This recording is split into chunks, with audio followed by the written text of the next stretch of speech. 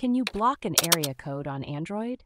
Have you ever received those annoying spam calls from unknown area codes and wondered if there's a way to block them all at once?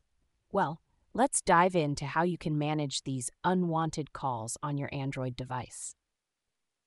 To block area codes on Android, you can use a combination of built in features and specific apps. Starting with the built in features, Android 7.0 and later versions have a system level blocking feature. Here's how you can use it open your phone app, tap on More, then go to Call History. From here, you can tap on a call from the number you want to block and select Block Report Spam. However, this method blocks individual numbers rather than entire area codes. For blocking specific area codes, you might need to use an app like RoboKiller.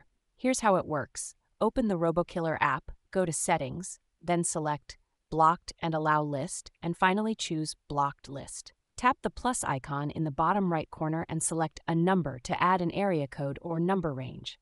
Enter the area code or number range you want to block and select Block. You can also add a label for easy identification. Another app that can help is Call Control. This app allows you to block specific area codes and even set up a whitelist of approved area codes. For example, you can block all incoming calls except for a small list of area codes that you trust. These apps ensure that any incoming calls from the blocked area codes are automatically declined and you won't receive calls from those numbers. Additionally, calls from numbers saved in your contacts will always come through, so you don't have to worry about missing important calls.